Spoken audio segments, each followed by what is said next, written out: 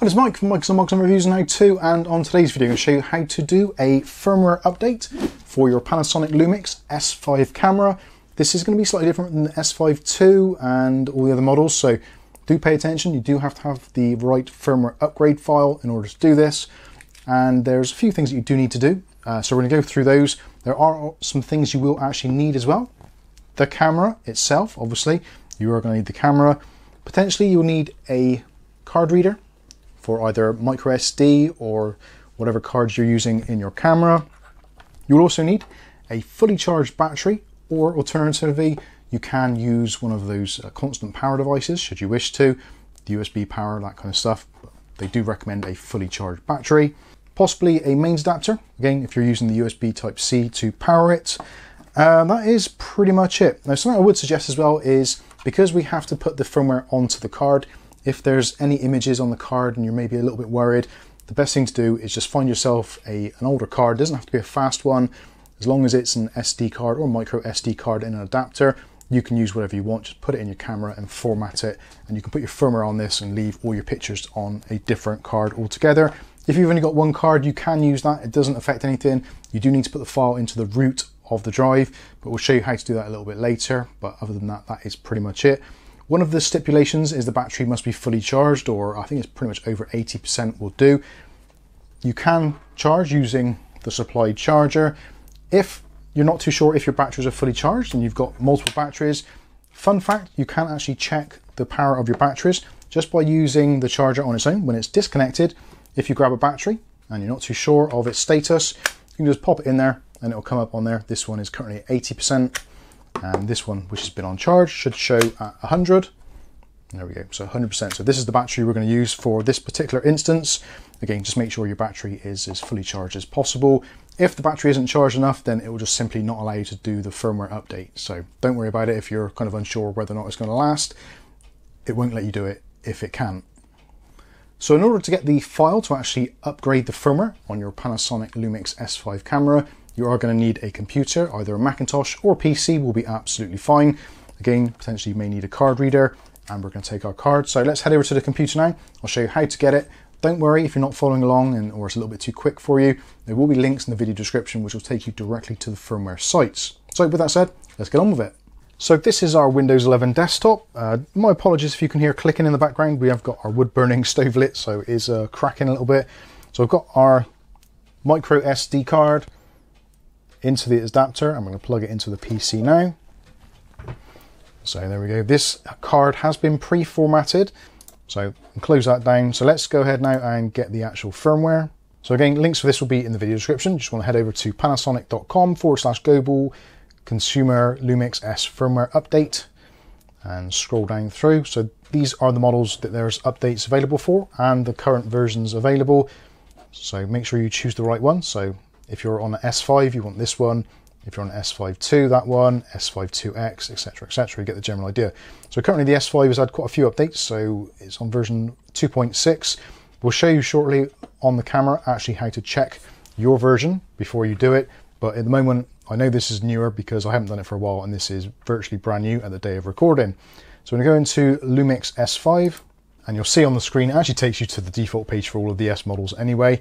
So this is for full frame and system camera and also for lenses. We will be doing a separate video on how to update the lenses, but the, uh, the process is basically the same, but I will split it down for the lens itself and lenses are just down here. So yeah, if you do want those as well. You can put both of them on the card at the same time. It isn't advisable. Sometimes it can trip up the system if it's there's two bin files. So I would certainly recommend doing one at a time and erasing the card in between just to save any potential issues. So the one we want here is the DC S5, currently version 2.7, which was released October the 17th, 2023. As you can say, it is new. So click on here. So click on the download page. We'll get another page come up. We'll have to agree to the terms and conditions before we do it. You can also click on here to see the procedure update. So if there's something in this video you're not following, the information is in here as well. Also, when you're happy, click on the download button here and do have to scroll on through and accept the licensing agreement at which point you'll get a pop-up asking you where you want to save it to. For simplicity, I'm going to choose our Windows desktop And this is a compressed zip folder, so we are going to have to unzip this. So we're going to click save. And we see this is downloading here. It's not a particularly fast download on their servers, unfortunately. So do wait for this download section here to be finished before you close the window. Otherwise the download will not complete or will leave you with a partial download. So we go, that is now finished. So we can now minimize this window. Um, we'll minimize that one as well. So this should leave you with a file on your desktop or your download location with a zipped folder. So right click on it and then choose extract all. You can leave all this settings as it is, just leave it to the defaults and choose extract. So this is going to leave you with a bin file. So this is what you want. As long as it says bin file, that is great. If it says zip or anything else other than bin, so you're going to need to go back a little bit and extract the file again. Once you're happy and you've got your bin file, you can right click on it. You can choose cut or copy, choice is yours, and then go over to your drive, which is your SD card, and just dump it actually in the root. So you should see your DCI folder, your private folder, and then we're going to have our bin file here. So once you're happy with that, you can eject the drive or remove it, whichever you want to do. If you click on eject, you can click on there and it will remove it. So now we can take the SD card out of the card reader and now we can head over to the camera. Okay, so we've got our camera, we've got our battery installed in the battery flap and now we can get our SD card. Just pop open the side and you can put it into any of the slots. I've removed the existing one and I've now put in the one with the new firmware on and we can close the door.